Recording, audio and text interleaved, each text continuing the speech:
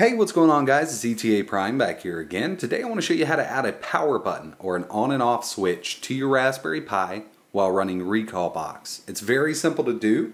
Now both of these switches are momentary switches, so that's what I'm going to be going over on in this video. You can also use a toggle switch for always off and then you switch it on. But these are just momentary switches. As soon as you press it, all it's doing is bridging the two wires. That's it. So this is a little one I rigged up here and here's a smaller arcade button that I rigged up. You just press it, it's going to bridge these wires and power down your Raspberry Pi. Alright, so you're going to need to connect these to two GPIO pins. And the GPIO pins are number 5 and number 6. So if we're looking at the Pi, just like it sits here, we're going to count three down. One, two, three. These two are the ones we're going to connect to. Very simple to do. If you have a little connector, makes it much easier. But all this is going to do is when we press this button, it bridges those two GPIO pins for a second. It's a momentary switch. It's going to send a signal, read from the config file, and shut the Pi down. When the Pi's shut down, we can press it again to power it back on. So I'm going to be using this switch here. It's the same as this. This is just a little one I rigged up. It's a momentary switch with some thicker gauge wire. It was easy to push right onto the GPIO pins and still maintain a connection. But what the switch is doing is actually just bridging 5 and 6 for a second. So even if I was to take this and bridge them, it would shut the Pi off for us. So there's two ways to edit the config file. If you're running your ROMs from your USB, you can just take your USB, plug it into the PC, and edit your config file on there. Or if you're running everything from the SD, you can do it over network. Now over network works with both ways, and I'm going to show you how to do it using USB and network. Let's move over there now.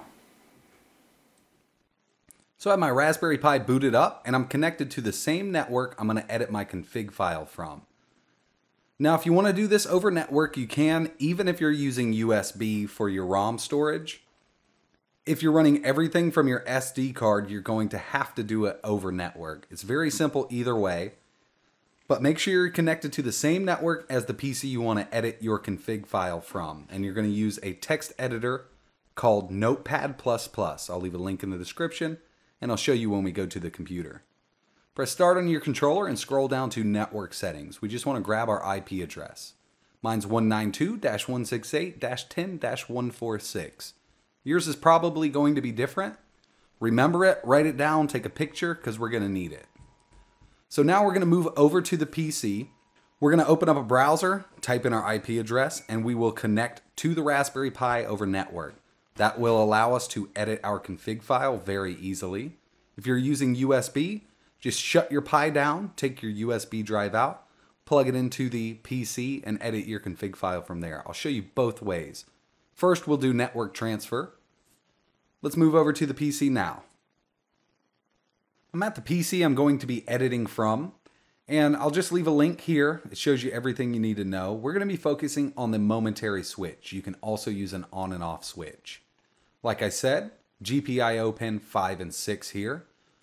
So it doesn't matter if you have negative and positive on either one of them because all we're doing is bridging this connection. There's no power in our switch, so all we really need to do is bridge it. It doesn't really matter about the negative and positive leads. Next up, I definitely recommend using Notepad++. It's free to use, there's no viruses. This is the best editor that I've found for Windows. If you use the built-in Notepad that comes with Windows, it adds weird characters to the config file sometimes, so you try to boot back up and it won't work. So use Notepad++. You download it here, very simple to install. So I'm going to connect to my Raspberry Pi running Recalbox with my IP address. My Raspberry Pi is still on and connected to the same exact network as this computer. I'm just going to open up Chrome, go to the very top, and type in the IP address of my Raspberry Pi. and that's 192-168-10-146.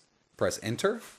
So this is really cool. This is built into Recalbox. As long as your Recalbox or your Raspberry Pi is online, you can access this with your IP address. You can monitor your system resources, shows you how much free memory, how much CPU usage you have going on, CPU temperature, all kinds of stuff. But what we're going to focus on is the read and edit recall configuration file. Open it up. And if we look at the very top here, A, system options. I'm just going to find pin 56 push button. This is the momentary push button system that we're using.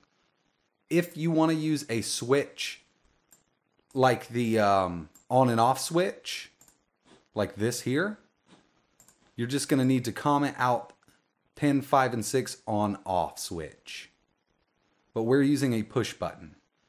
All we need to do is delete the semicolon at the beginning here. We're going to uncomment it. Now it tells us to uncomment and for the life of me I kept trying to uncomment this and this is just the link to how to add the start and stop button. This is how you uncomment usually in Linux. But for some reason we just have to remove the semicolon. That's it. So I'm just going to press space. Now if we look down the line, there's nothing in front of system power switch equals pin 56 push. Scroll down to the very bottom. If you'd like to back it up, go ahead and do that. And I'm just going to click save. I don't need to back it up because I have mine already backed up. Click save. Now, I'm going to show you how to do it using just your USB stick. Okay, so now I'm just going to show you how to edit it on the USB stick itself. Now this is really only if you're running your ROMs from your USB stick. I've shut down my Raspberry Pi safely because there's a great chance of corrupting the config file on the USB stick if you just unplug it.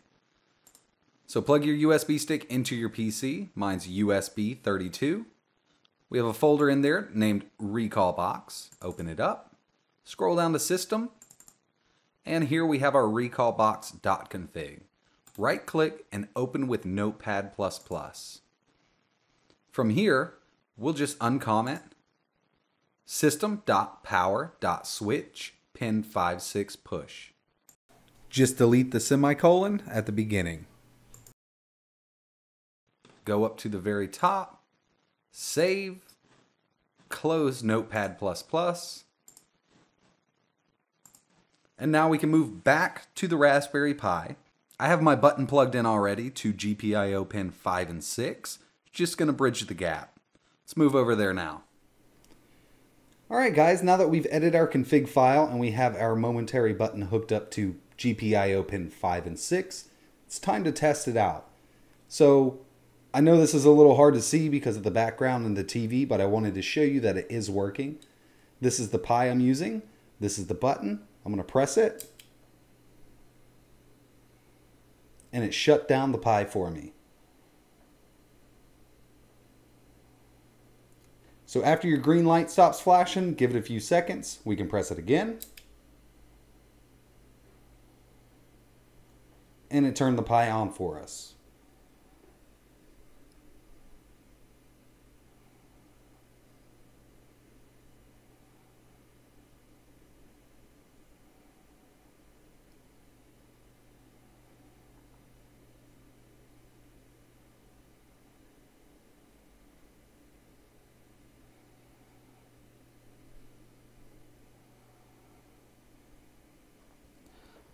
So now that it's booted up again, I'm just going to press it. It's going to shut down the Pi for us. Very easy. I'll turn it on one more time for you.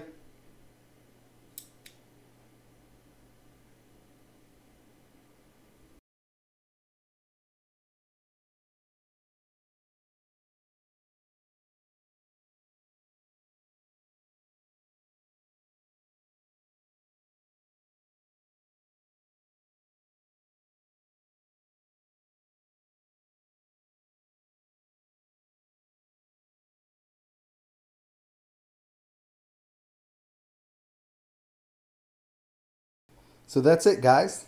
Very easy to do. Doesn't take much work at all. Hopefully you can get this set up in your arcade cab so it looks really nice. This is the momentary switch. If you want to use an on and off switch, you can do that. You just need to uncomment the other one in the config file. I appreciate you guys watching. If you could, hit that like button and subscribe because I got a lot more coming.